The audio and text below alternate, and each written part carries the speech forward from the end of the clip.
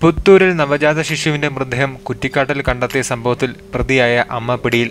പുത്തൂർ കാരക്കൽ സ്വദേശിനി അമ്പിളിയാണ് സ്വന്തം കുഞ്ഞിനെ കൊന്നതിന് പോലീസ് അറസ്റ്റ് ചെയ്തത്. കുഞ്ഞ് ജനിച്ച ഉടനെ കൊലപ്പെടുത്തിയ അമ്പിളി. തുടർന്ന് സമീപത്തെ കുറ്റിക്കാട്ടിൽ മൃതദേഹം തുണിയിൽ കെട്ടി വലിച്ചെറിയുകയായിരുന്നുവെന്ന് പോലീസ് പറയുന്നു. രണ്ട് വർഷം മുമ്പ് വിവാഹിതയായ അമ്പിളിക്ക് മറ്റൊരു കുഞ്ഞുണ്ട്. രണ്ടാമതൊരു കുട്ടി വേണ്ട എന്നായിരുന്നു ഇവരുടെ തീരുമാനമെങ്കിലും ഇതിനിടെ അമ്പിളി വീണ്ടും ഗർഭിണിയായി. ഇതേ തുടർന്ന് ഗർഭചിത്രം നടത്താൻ അമ്പിളി അടുത്തുള്ള ആശുപത്രിയിൽ പോയെങ്കിലും ഗർഭചിത്രം നടത്താൻ ആശുപത്രി അധികൃതർ തയ്യാറായില്ല.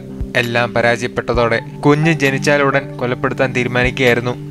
തുണിയിൽ കെട്ടി വീടിന് സമീപത്തെ കുറ്റിക്കടൽ കളഞ്ഞ കുഞ്ഞിന്റെ മൃതദേഹം പിന്നീട് തെരുവ് നായ്ക്കൾ കടിച്ചെടുത്ത് പുറത്തു കൊണ്ടുവന്നതോടെയാണ് സംഭവം പുറംലോകം അറിയുന്നത്. ഛിന്നഭിന്നമായ മൃതദേഹം പോസ്റ്റ്മോർട്ടം ചെയ്തപ്പോൾ മാത്രമാണ് കൊലപ്പെട്ടതൊരു അൺകുഞ്ഞാണെന്ന് തിരിച്ചറിയാൻ സാധിച്ചത്